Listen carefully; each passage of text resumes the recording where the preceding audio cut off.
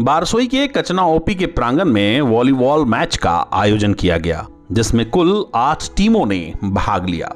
जिस मैच का बुधवार को फाइनल मुकाबला गोवा गाँव वर्सेस कटोरा के बीच खेला गया, जिसमें गोवा गाँव की टीम ने जीत हासिल की।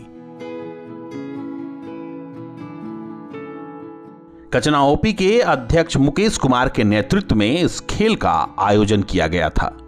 इस खेल के माध्यम से लोगों के बीच यह संदेश दिया गया कि समाज में जितने भी प्रकार की बुराइयाँ हैं, उन बुराइयों को खत्म करने का एक ज़रिया खेल जगत है। खेल के माध्यम से लोग एक दूसरे से मिलते हैं।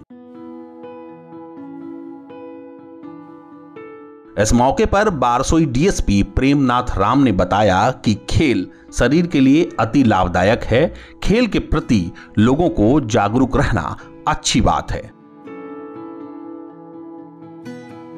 कचना ओपी के प्रांगण में आयोजित एक खूबसूरत मैच का जो आयोजन किया गया, वो सराहनीय है।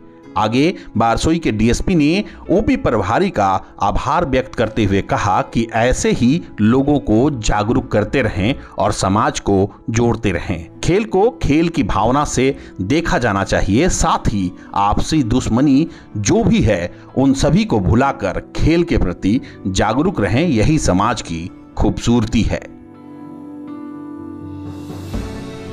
सत्रह तारीख से लेके आपका वॉलीबॉल टीम का आयोजन किया गया जिसमें सात टीम के प्रभागी, प्रतिभागी हिस्सा लिए। और आज फाइनल मैच था।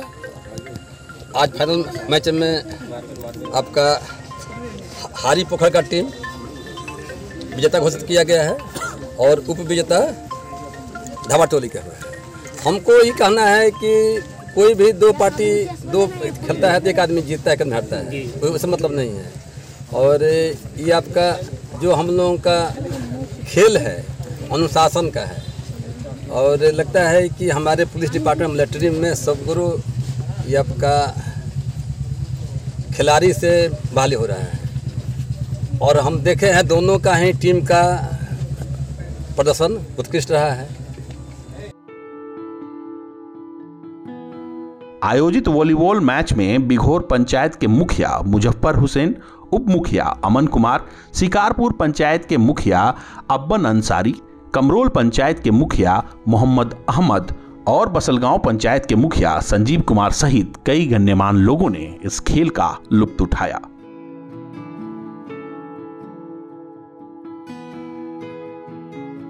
Mohammad Minarol, news life Barsoi.